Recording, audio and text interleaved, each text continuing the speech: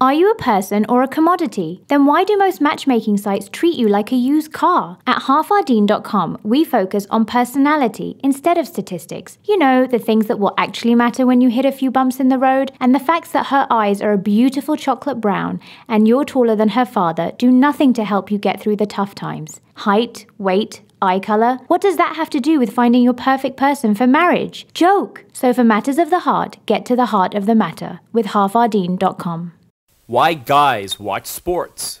Do you ever notice how guys watch sports together? We're so amazed when we see a ball thrown, shot, cut, or kicked. What? Wow, did you see that? Did you see that? I saw that too. High five.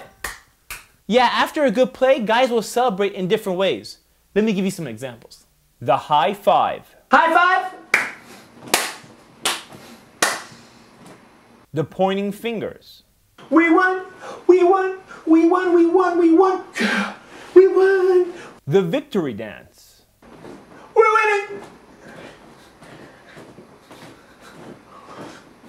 What were we doing again? Winning. The shake.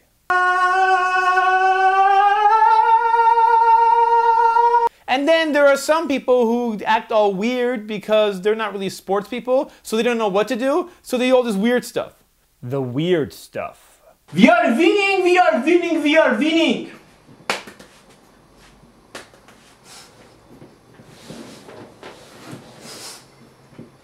Usually guys will just look at each other when someone does something weird, but in the heat of the moment and everyone's winning and the sports team that you want is winning, they let that stuff slide.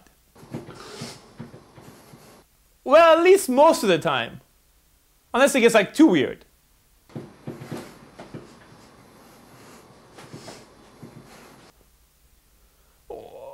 But for most women, they don't see what the big deal is. You'll be like, Did you see that? Did you see that? And a woman will be like, Of course I saw that. I've been sitting next to you for like the last hour, so I don't know what the big deal is. Um, when are you gonna take out the trash?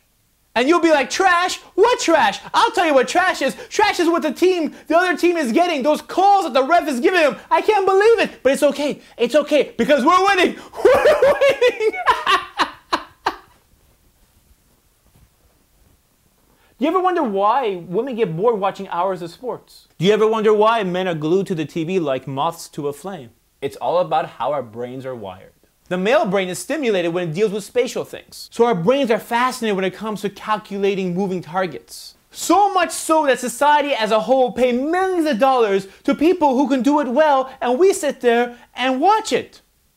And we're like, wow. And then you have brain surgeons and, and all these different doctors and engineers, all these prestigious positions, but they don't have the funds. They don't get the funds as much as these people. They don't get the millions of dollars. You never see a brain surgeon getting millions of dollars.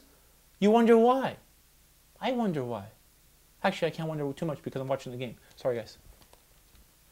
Goal! Some say the part of the brain the man that sits there and wants to calculate distance and space is because once we were hunters, we had to calculate distance and space. We see a moving target, an animal, running from this side to that side. We had to be good at calculating. The people who were good at calculating distance and space were the ones who were fed and, and, and ate. And the people who didn't, they didn't eat. You see, long before the supermarket, people had to actually catch their food. Now, these days, instead of using that energy to hunt for food, we use it to argue how halal the meat is. But that's a whole different video if you know what I mean.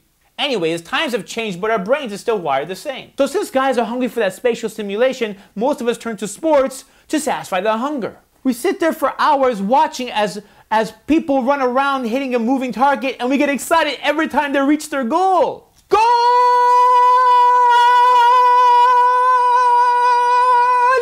We become so amazed and watch every detail that we keep stats on the players. On the other hand, the average woman can care less how many points your favorite player scored during the season. You see, for most women, they become more interested in the sport if they know something about the player. Like, who is he married to and how many kids does he have?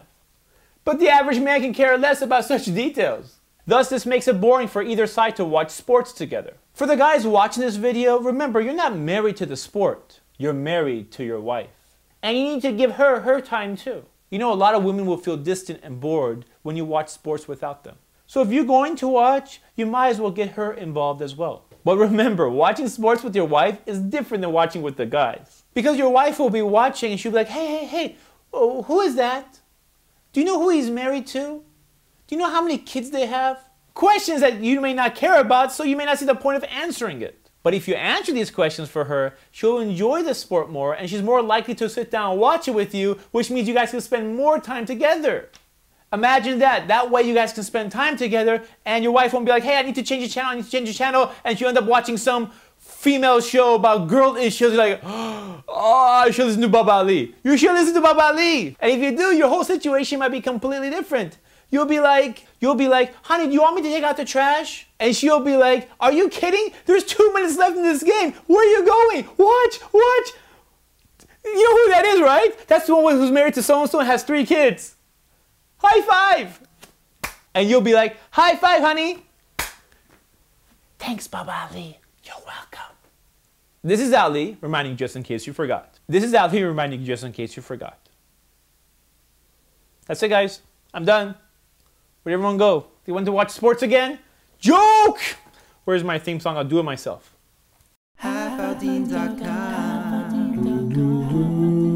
you want to know what makes love grow? What makes love grow? It's half of your deen, said the Prophet, peace be on him. Half of your deen. It's part of Islam, increasing your iman.